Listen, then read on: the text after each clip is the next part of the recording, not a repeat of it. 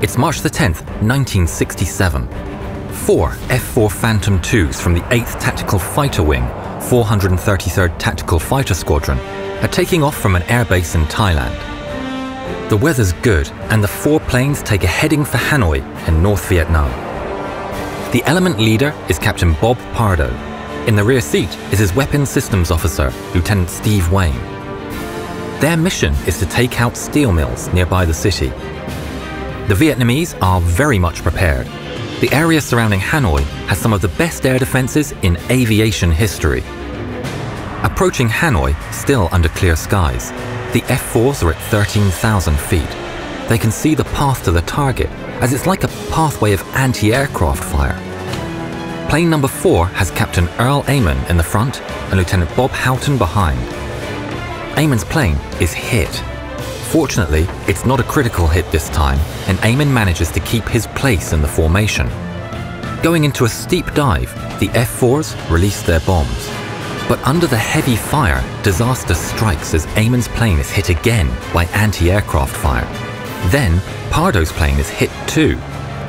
Both planes are now streaming fuel, and they need to decide what to do next.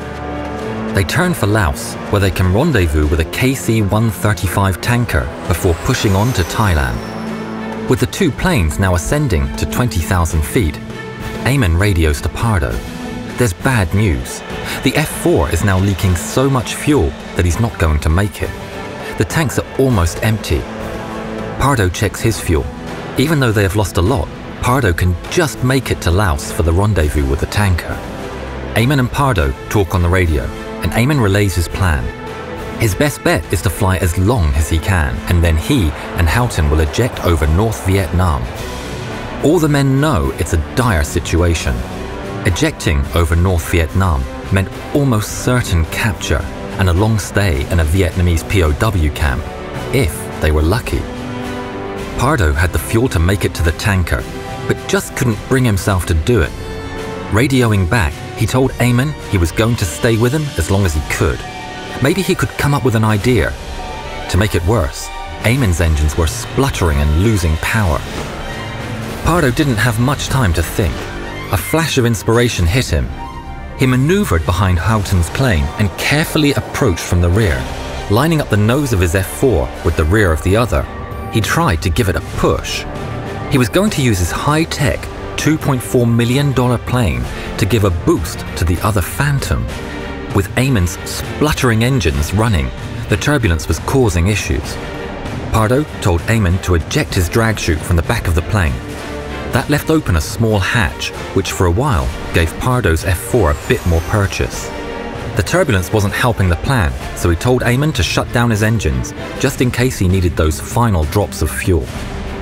Despite Pardo's skill as a pilot, the Phantom's nose cone that was ideal for slipping through the air also made it ineffective as a ram to push another plane. Trying again and again and failing, he had another flash of inspiration. Originally, the F-4 was designed as a fighter-bomber for the Navy. As such, it had a rear hook that allowed it to land on aircraft carriers. Getting on the radio once more, Bob Pardo told Earl Aman to lower his tail hook. Lining up again and coming in close, Bob maneuvered to get the tail hook smack in the middle of his windscreen.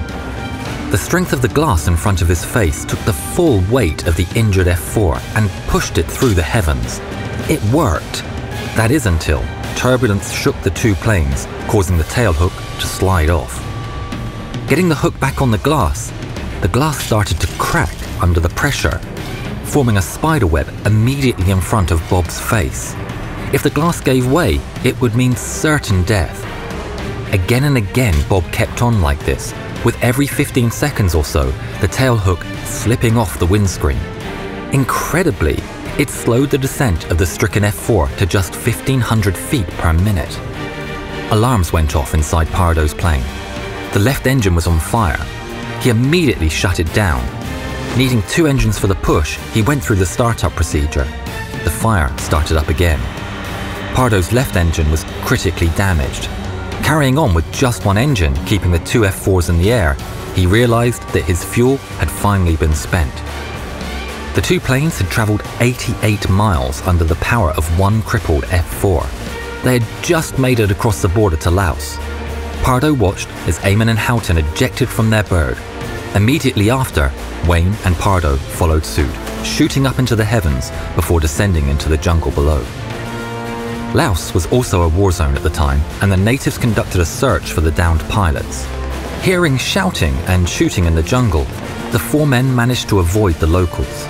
After just 45 minutes on the ground, all the men were whisked away by a rescue helicopter.